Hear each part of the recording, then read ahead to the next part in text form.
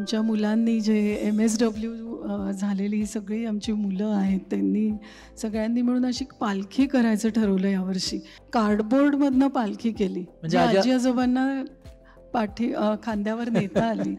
Pot ice cream हे त्या काळातलं नाविन्य होतं. नव्वद वर्षांचे आजोबा आज पॉट आईस्क्रीम स्वतः करतात. ऑफकोर्स आम्ही मदत करतो पण त्याची तयारी त्याचं आयोजन हे इतकं गमतीचं असतं या सगळ्यातनं एक कॉग्नेटिव्ह खूप. त्यातनं स्टिम्युलेशन आहे ॲक्च्युली हा मुद्दा अल्झायमर्स हा ही जी व्याधी आहे विस्मृतीची तर एक सेंटर पूर्ण त्याच्यावर फोकस्ड आहे त्याच्यासाठी या सगळ्या थेरपीज निर्माण झाल्या ॲक्च्युली की त्यांच्या लहानपणीच्या आपण आठवणी जागृत करूया. किंवा त्यांना कसा आनंद देता येईल so living in the present जे आहे. त्या तत्वावर खूप या ॲक्टिव्हिटीज डेव्हलप होत गेल्या.